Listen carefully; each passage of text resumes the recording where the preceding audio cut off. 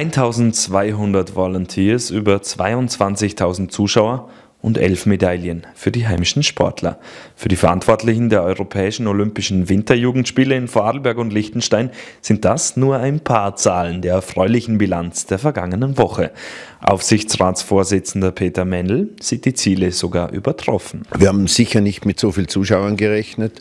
Es gab auch Experten, die behauptet haben, dass man keine Volunteers finden wird und trotzdem haben wir über 3000 Bewerbungen gehabt und haben 1200 tolle, freundliche, hilfsbereite Volunteers gehabt.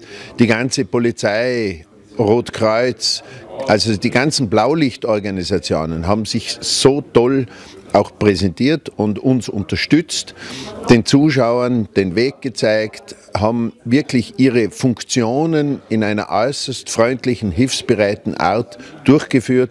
Also sensationell. Auch die Zusammenarbeit zwischen Vorarlberg und Liechtenstein war für alle Beteiligten ein voller Erfolg, bestätigt ÖOC-Präsident Karl Stoß. Es war ein Experiment für uns alle, weil es das noch nie gab, bei der olympischen Familie über zwei Länder hinweg eine Veranstaltung zu organisieren. Am Anfang vielleicht etwas holprig, weil man natürlich mit zwei Regierungen zu tun hat, ein gemeinsames Budget zusammenbringen muss.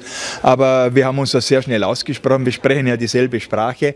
Man ist da sofort auf einen gemeinsamen Nenner gekommen.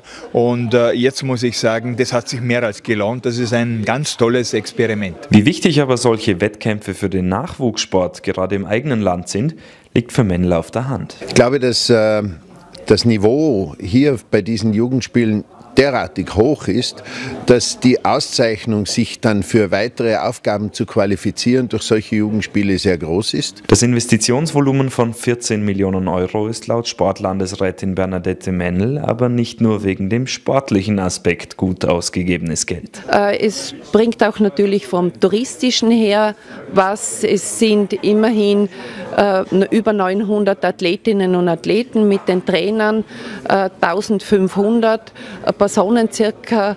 Äh, das sind auch die Gäste von morgen und Vorarlberg hat sich als hervorragendes Gastland präsentiert. Das wurde in die Welt hinausgetragen. Das ist auch eine Chance und ja, das ist ganz was Besonderes.